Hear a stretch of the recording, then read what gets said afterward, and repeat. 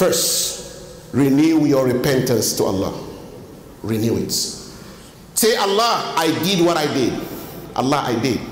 Allah, I did, and you know. Because nothing is hidden to you. Allah, I committed a lot of sin. Allah, I sin a lot. But Allah, I know that your forgiveness is greater than my sin. So, Ya Allah, forgive me and listen to Allah.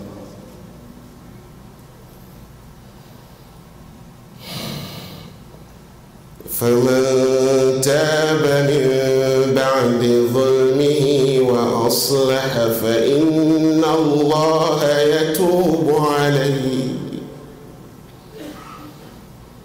Whoever repents after his wrongdoing وأصلح and make amends, فإن الله يتوب عليه. Will accept his repentance. Allah will forgive you. He said, You committed a sin and you repent and you make amends and you fix it. He said, I will forgive you. Ya Allah. So let's renew our repentance. These days, say Astaghfirullah.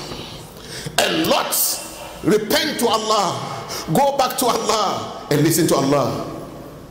ومن يعمل سوءا أو يظلم نفسه ومن يعمل سوءا أو يظلم نفسه ثم يستغفر الله يجد الله غفورا رحيما.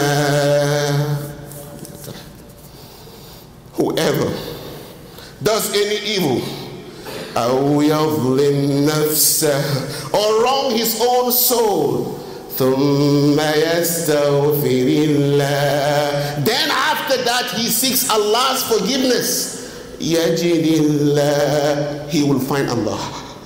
How? غفورا رحيما You will find Allah forgiving and merciful. So say Astaghfirullah. Another opportunity given to you by Allah. So let's renew our repentance. Say, Ya Allah, I repent. Astaghfirullah. Say, Ya Afu. You know Al Afu, the wiper of sin. Al Afu, the remover of sin. Al Afu, the eraser of sin. Say Astaghfirullah. Repent. Say a lot of istighfar. And listen. Say, Ya Allah, I repent. Pardon my mistakes. And listen to Allah. وهو الذي يقبل التوبة عن عباده ويعفو عن السيئات ويعلم ما تفعلون And he is the one who accepts repentance from his slaves. He is the one who accepts repentance from his servants. وَيَعْفُ And he wipes your sin. وَيَعْفُ And he erases your sin. and he erased your sin permanently. Ya allah. Say astaghfirullah.